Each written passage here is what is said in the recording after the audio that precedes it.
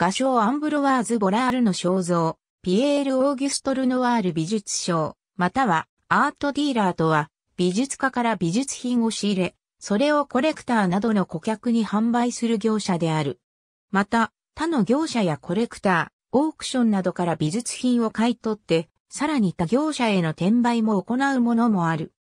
規模は、百貨店の美術部や、商社系ギャラリーなど大きなものから、先祖代々続く、古美術商、美術愛好家や、ビルオーナーなど個人が営業するギャラリーまで、大小様々である。絵画を扱う美術賞は画商とも言う。また、美術賞が自前の作品展示、販売スペースを持っている場合は、画廊やギャラリー、あるいはギャラリストなどと呼ばれることもある。ギャラリストは自前のスペースを持ち、自ら見出した契約作家を育成し、ギャラリーで最高の状態で展示するというリスクを抱えながら、美術家をプロモートし美術家と共に歩んで美術を育成する存在であり、単に作品を安く買い高く転売することを目的とするブローカーやディーラーとは区別すべき存在である。ギャラリストは、いい美術品を求める顧客と美術品を売りたい作家を仲立ちし、結果、社会と美術界を共に発展させる仕事と言える。それぞれの美術賞には、分野や時代、地域などの専門分野があり、例えば古美術を扱う美術賞や現存作家や仏古作家など比較的最近の作品を扱う美術賞などがいる。茶道具と現代美術といった異なる分野を同時に扱う美術賞は滅多にいない。質や専門性、信頼性を保つためには、画廊としての専門分野や取扱作家や見識を決め、それに沿った企画展示をすることで顧客に訴えることも重要である。美術賞は価値を見抜くために優れた美術を数多く見て見る目を鍛えておくこと、また見る目と資金を持つ顧客といった良質の販売ルートを抑えることが望ましい。古美術賞の場合、古美術品を仕入れる機会は収集家などの所有者からの売却依頼、同業者からの買い入れ、交換会、オークションなどがある。作者の明らかな美術品で、比較的最近に亡くなった仏古作家の作品を扱う画商、美術賞はこれらに加えて鑑定、買い取り、転売といった方法もある。所有する伝来品を手放すコレクターやメーカーは、それまでの美術品購入の来歴から信頼を寄せる美術賞に売却依頼をする。個人との取引では、心眼や価値を鑑定し値をつけて買い取る。または委託品として預かり売却できた場合代金から手数料を受け取り利益を得る。また、鑑定自体に手数料を提示する鑑定家に近い美術商もいる。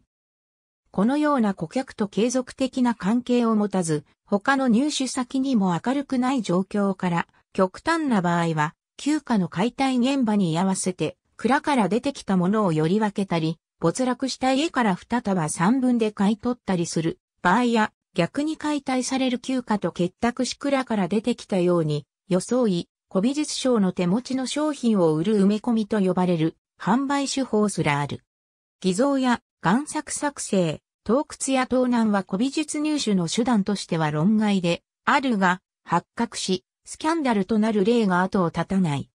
古美術品を手に入れる場合、美術品が本物かどうか、どの程度で売れるのかを鑑定することは、死活的に重要である。このため、美術賞には、作品の細部や良し悪しを判断する、目、美術品や美術史の知識、茶道他当該分野の美意識、美術市場の価格動向、美術品の過去の所有者の来歴や、美術品を持ち込んだ者の人物に対する調査や判断が必要である。特に本物を見抜く目や良い作品を選ぶ感覚を養うため、良い作品や本物をいかに多く見るかが重要だ、といったことが美術関係者の間では言われる。ある人物が作品を一見しただけで惚れ込むような場合でも、その背後にはそれまで彼が体験した多くの作品鑑賞や、そこから培った彼なりの美意識がある。そのため、美術賞は多くの実物の作品に触れる経験を持つために、他の美術賞の下で働いてから独立することが多い。また、数百年前の古美術といえども21世紀の今も評価は定まっておらず、例えば19世紀になって再発見されたヨハネス・フェルメール、20世紀になって再発見されたジョルジュ・ドラトゥール、1970年に辻信夫の奇想の系譜が出版されて、画然再評価された伊藤若冲や長沢露雪、蘇我昌白などの例もあるため、未知の作家の発掘なども、目利きとしての美術賞の重要な役割である。現存の作家を扱う美術賞の場合、美術家と美術賞との関係は専属契約が多い。美術賞は数ある美術家の中から作品を販売したい作家や画廊の傾向、方針と合う作家を選び、その作家と契約や口約束を交わす。美術家は制作した作品を契約した美術賞に独占的に販売する。美術賞は美術家のマネージャーのような存在である。ギャラリストは美術家を育成、指導し、彼ら彼女らがより大きな発表機会に恵まれる、要美術館やキュレーターに紹介して回り、また作品を購入してくれそうな顧客を回り、売上や制作に必要な資金を美術家に支払う。ギャラリストとの契約のきっかけは、などがある。ここでも美術史や制作方法の知識や美術界の動向のほか、未知数の作家や作品から人や素質を見抜く力や直感が必要であり、そのためには多くの良質の作品に触れる体験が必要とされる。ギャラリストには美術家の制作した作品の良し悪しを判断したり、制作の方向づけや指導をするなど、作家育成の役割もある。この原動力になるのは、作家が大きく育つ喜びでもあるし、大きく育った作家の作品が高く売れることへの期待でもある。一方、売れる作品作りや流行している思想、傾向に合わせるような指導が行われることもあるため、作りたいものを作ろうとする作家と売れるものを作らせたいギャラリストが対立することもある。また、ギャラリストは何人か抱えた美術家を一斉に売り出し、結果的に美術運動を仕掛けたり、一国の美術を世界にアピールすることもある。先駆的な例では、印象派などの作家の紹介に力を入れた19世紀後半のパリの画商ポール・デュランイコール・リュエルや19世紀末のアンブロワーズ・ボラールは売れていないが芸術的に重要な傾向の絵画を買い取り、売れるように尽力した画商である。20世紀前半にパリにいたドイツ人画商ヘンリー・カーンワイラーはモンパルナスに集まった世界各国からの画家たちを扱い、キュビスムやエコールドパリの画家たちを有名にした。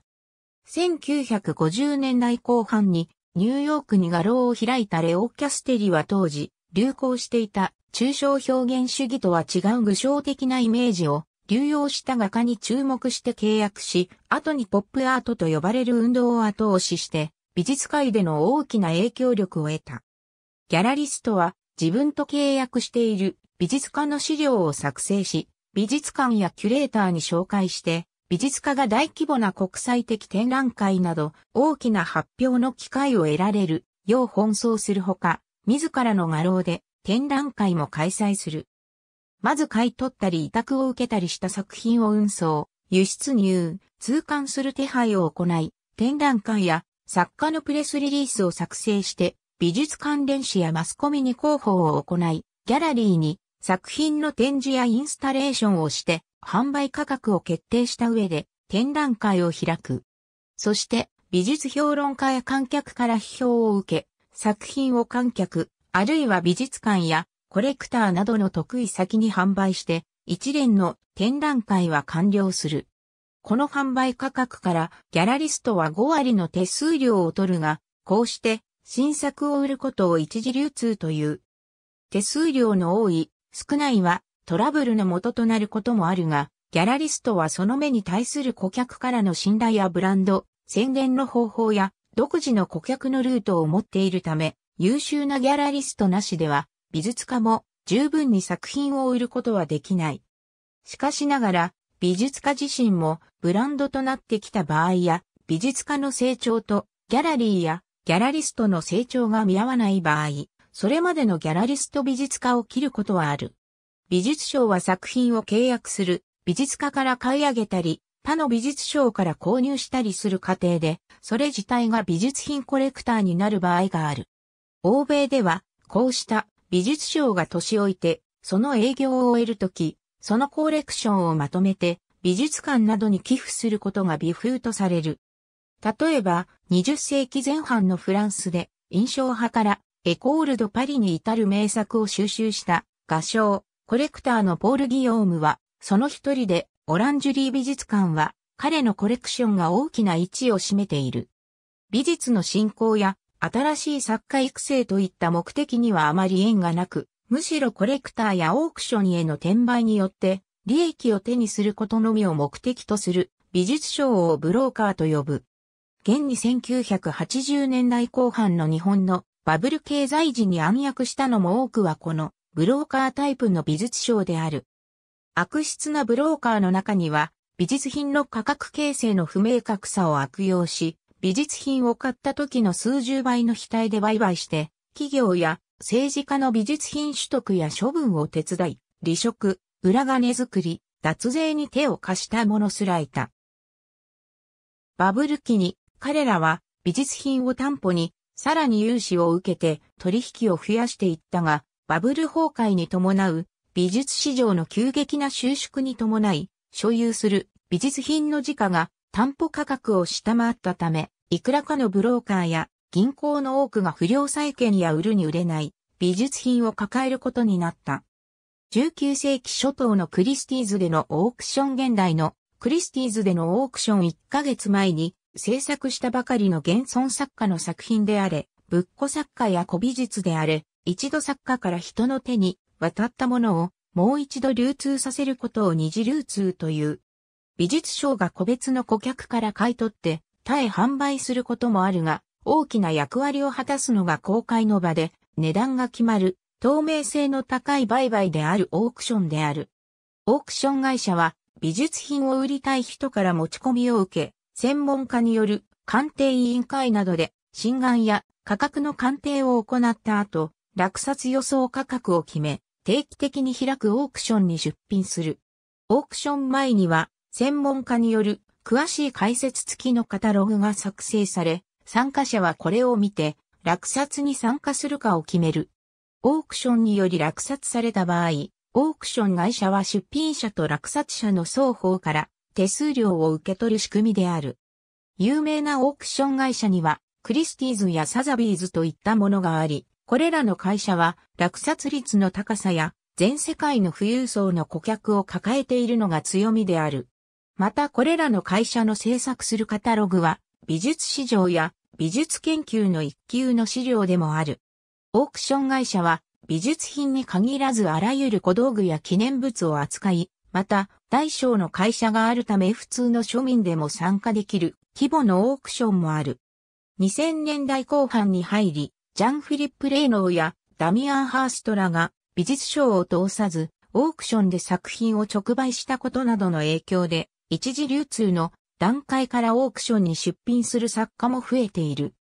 アートフェアの画廊ブースの風景メルボルンのアートフェア美術賞が各地から一つの会場に集まって自分たちの扱う作品をブースに展示し、観客が一度に多くの作品を見て直接購入できる機会が美術の見本誌アートフェアである。これは美術作家の最新作発表の場であるほか、顧客同士や美術商同士による美術界動向の情報交換の場、美術商同士の売買の場にもなっている。こうしたものでは、1970年に始まったスイスのバーゼルのアートフェアは、規模や来場客が巨大で、世界的にも名高く、展覧会やシンポジウム、有料顧客パーティなどの関連企画を開催するほか、バーゼルの街中で同時期にアートイベントが行われる。各国の美術館や富裕なコレクターがプライベートジェットで乗り付けて、ここで作品を購入するほか、裕福でない老若男女も気軽に来場し美術品を購買する。アートバーゼルはマイアミや香港でも開催されるようになったほか、ロンドン、パリ、ケルン、ボローニャ、ソウルや北京など欧州やアジアの都市が独自のアートフェア開催を通じて自国美術市場の育成と自国美術のアピールをするのに熱心である。日本では2005年より毎年4月にアートフェア東京が開催されている。近年ではアートフェアの数が増えすぎたため、展示の質が下がり、ギャラリーや美術館への価値判断の回帰が叫ばれている。美術商同士が集まり美術品を持ち寄り、競りにかけて売買する交換会がある。これは、魚市場や青果市場など同業者同士の市場に相当する。美術商は共同組合を組み、そのメンバーに承認された者は出資金を出し、さらに交換会での売買の連帯保証人とならなければならない。しかし、交換会の意義は美術商に対する金融機能があることにある。売買が成立した場合、売れた美術商には即座に代金が支払われるが、買った美術商は数ヶ月先まで支払いを伸ばすことができる。この間の建て替えは会員の出資金で行われている。これはおそらく日本独自の形態であり、オークションとは異なり公開の場で値段が決まるわけではないため時に閉鎖性が指摘されるが、経営体質が不安定で銀行の融資が受けられない美術商がかつて相互に助け合うことを目的に成立させたものである。美術商のほとんどはオーナーの美術品に対する判断や思考、また顧客に対するオーナーの個性という要素が大きくなるため、個人営業であることがほとんどである。規模を大きくして株式会社などに発展しても、基本はオーナーの個性の色彩が濃い。もっとも、日本の場合、版画を大量に販売する会社や、百貨店の美術部、商社系のギャラリーなど、例外も存在する。規模は、資本金、従業員、売上高ともに小規模な業者が多く、オーナー一人の場合も多い。この少ない人数で作家との交渉、営業販売、展示作業、運送、経理、美術の調査などの業務を行っている。また自社不動産を持つ業者は少なく、大半が店舗やビルの一室を賃貸している。美術に関わる仕事をしたいという若い人は多数いるが、これら小規模な業界は求人が少なく、働く機会を得る者は少ない。ただし運よく、ギャラリーにアルバイトや社員として入ったことをきっかけに自分のギャラリーを持つに至った若いギャラリストもいる。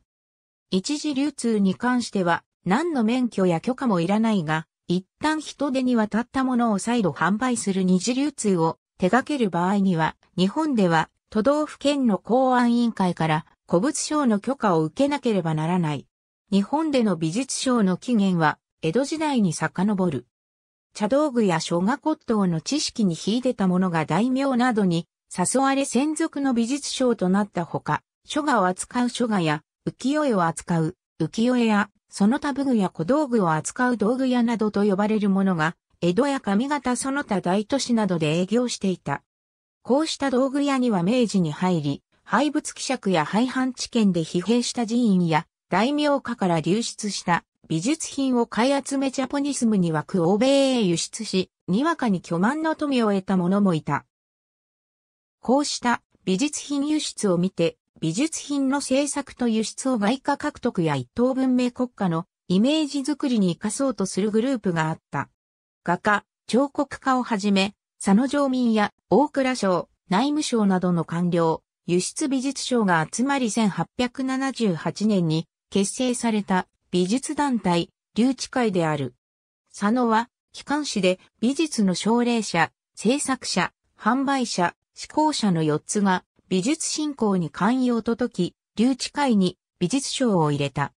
後に、宮内省や皇族の力も得て、日本美術協会と解消される頃には、多くの美術賞、道具屋がメンバーに加わり同時代美術や古美術の販売を行った。ここから日本最古の美術賞組織、東京美術クラブが1907年に誕生したと考えられるが、その詳しい経緯は不明である。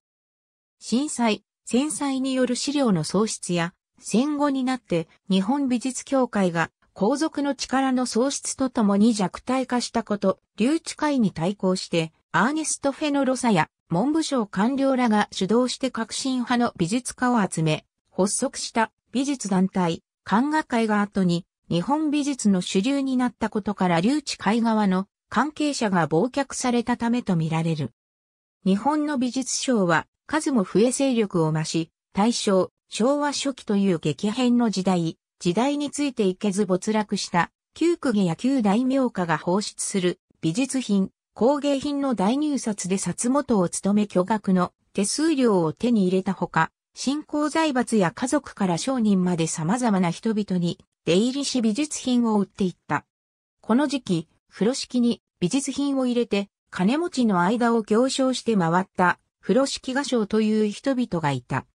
風呂敷画商は作家の作品を直接買い上げてから行商するため、当時増えつつあった自前の店を持つ美術商に比べリスクが大きく、より優れた目利きと財力等を要するために、当時の美術界でより強い立場にあった。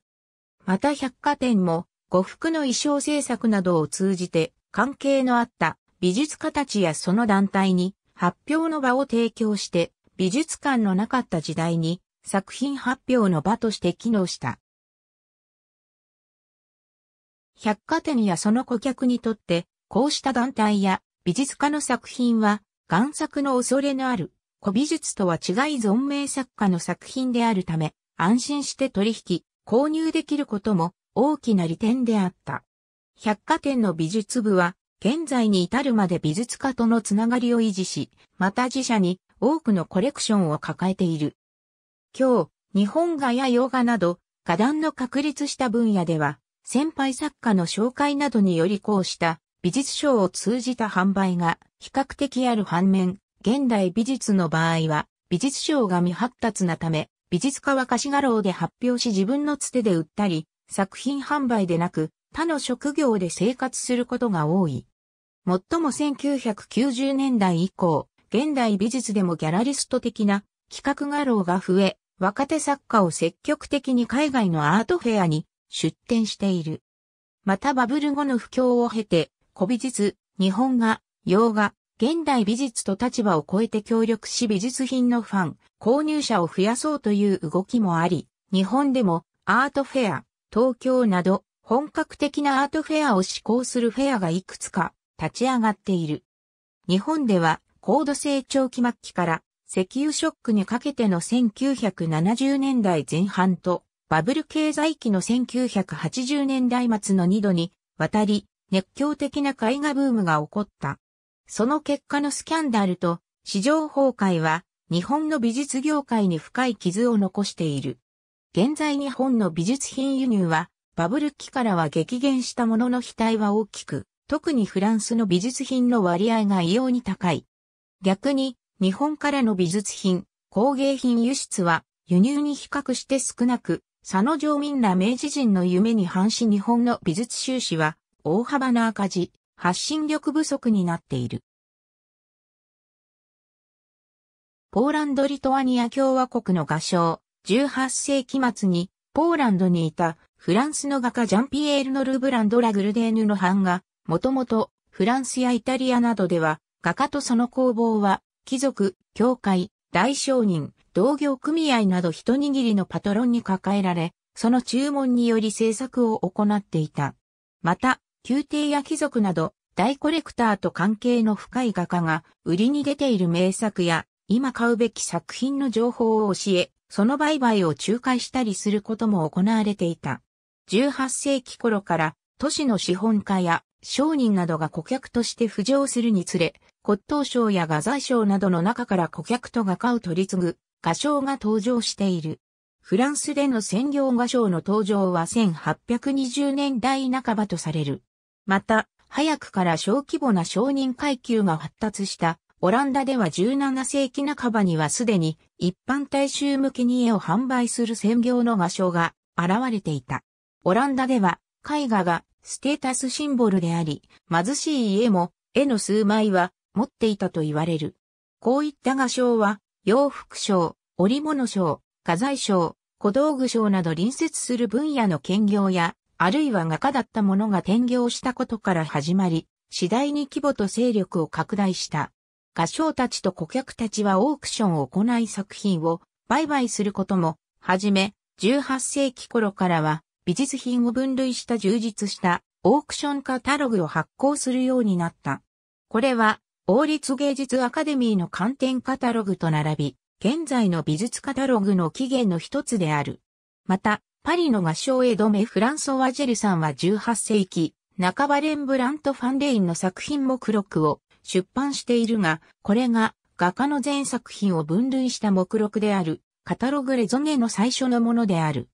このように初期の画商が制作した売買用の目録類は、現在では当時の美術研究の貴重な資料である。フランス国家が芸術を振興し、美術家やコレクターが集まった都市、パリの画商は、長らく、欧州の絵画、彫刻の価値や価格を決める重要な役割を担い、君臨してきたが、第二次世界大戦後は、ニューヨークに美術取引と価値判断の中心が移っている。一般社団法人アート東京によれば、2019年の世界の美術品市場の推計規模は約674億ドルであり、日本の美術品市場規模は2580億円と推計され、2016年調査開始以来、毎年増加し最大となり、前年の2460億円より4.9%増加した。国内事業者からの購入が2270億円、内画廊、ギャラリーからの購入が982億円、百貨店からが567億円であった。ありがとうございます。